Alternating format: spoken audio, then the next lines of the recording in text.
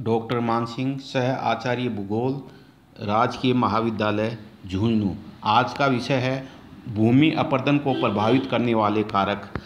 भूमि अपर्दन के विभिन्न कारणों के अलावा कुछ ऐसे कारक भी हैं जिनसे भूमि अपर्दन में सहायता मिलती है।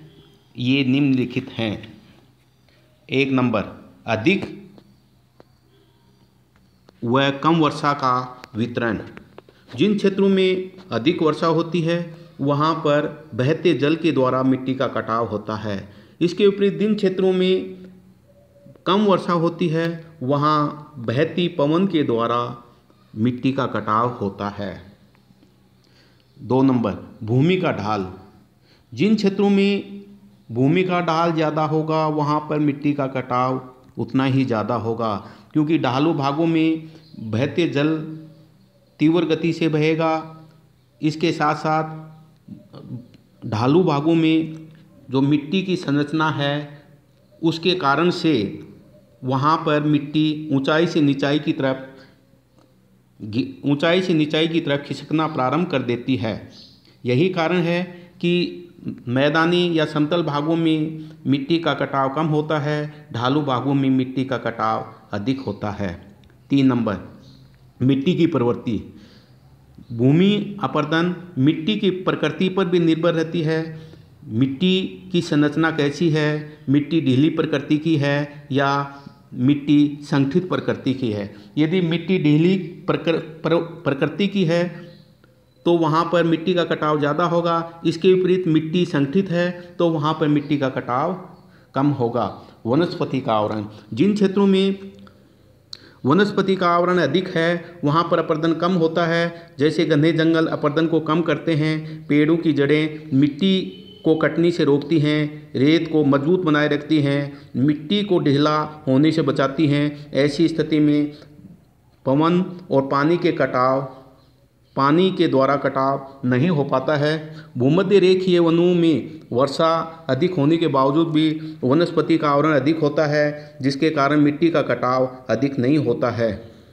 ऐसी मान्यता है कि थार के मरुस्थल में पहले अधिक वन थे, लेकिन उनके कटने के कारण से मरुस्थल बढ़ता गया। इस प्रकार जैसे वनस्पति का भाव हुआ, उसके कारण से मिट्टी का कटाव अधिक हुआ और मिट्टी का कटाव अधिक होने के कारण से मिट्टी के कण बहती पवन के द्वारा एक स्थान से दूसरे स्थान पर स्थानांतरित होने प्रारंभ हो गए, जिसके कारण से मरुस्थल का प्रसार होता गया। पाँचवा मिट्टियों की व्यवस्था।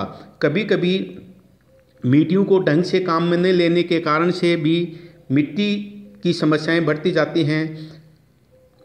अधिकतर एक ही फ़सलें लेते हैं। उन क्षेत्रों में इस प्रकार की समस्या देखी जा सकती है। जैसे कि हम झूमी कृषि के अंतर्गत देख सकते हैं। झूमी कृषि में जनजाति व्यक्ति एक जगह पर लगातार एक ही फ़सल का उत्पादन करता रहता है और जब ये लगातार चार पाँच साल तक कर लेता है तो वह भूमि अनुपजाऊ हो जाती है। जैसे ही वह भूमि अनुपजाऊ हो जाती है, उसको छोड़ करके दूसरे भागों में जा कर के वनस्पति या झाड़ जंकार को साफ़ करके खेत बनाता है।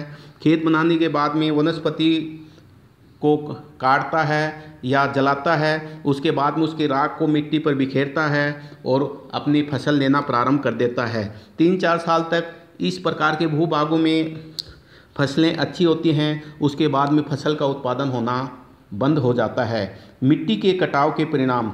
विभिन्न क्षेत्रों में विभिन्न प्रकार की मिट्टियों का कटाव होता रहता है, जिसके परिणाम हम निम्न रूप में देख सकते हैं। एक नंबर पर लकड़ी और ईंधन में की कमी, दो नंबर पर भूमि की उर्वरा शक्ति का विनाश, तीन नंबर पर चरागाह की कमी, चार नंबर पर उत्पादकता में कमी पाँच नंबर पर मैदानी भागों में भूमि की उर्वरा शक्ति का उर्वरा शक्ति में कमी होना। छः नंबर पर बालू रेत का स्थानांतरण। सात नंबर पर वर्षा की कमी और उच्च तापमान।